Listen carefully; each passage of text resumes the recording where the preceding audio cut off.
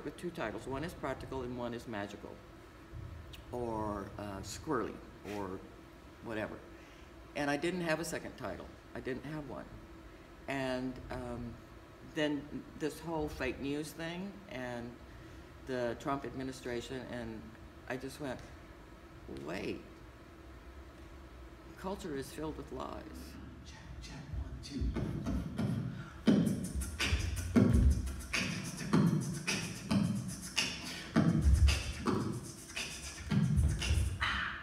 To attract people, to win over people to that which I have realized is being true, that is called propaganda. I don't store wigs in my closet. In the beginning, there is an understanding. This understanding uses propaganda as a tool to find those men that shall turn understanding into politics. Uh, it's, it's a yeah it's a, it's quite a long process. I I train because I want a common denominator of rhythm. I don't necessarily need people to have the same technique or even want that. Well, it depends on what the piece is uh, and what I'm working with.